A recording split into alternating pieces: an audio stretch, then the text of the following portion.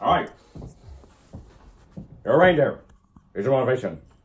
Your name is Rudolph. You're a freak with a red nose and nobody likes you. Then one day, Santa picks you and you save Christmas. Now forget that part. But improvise. Just keep it kind of loosey-goosey.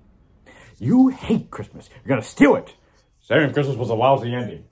Way too commercial. Action! Brilliant! You reject your own nose because it represents like a letter of commercialism. Why didn't I think of that? Cut, break, the game, moving on.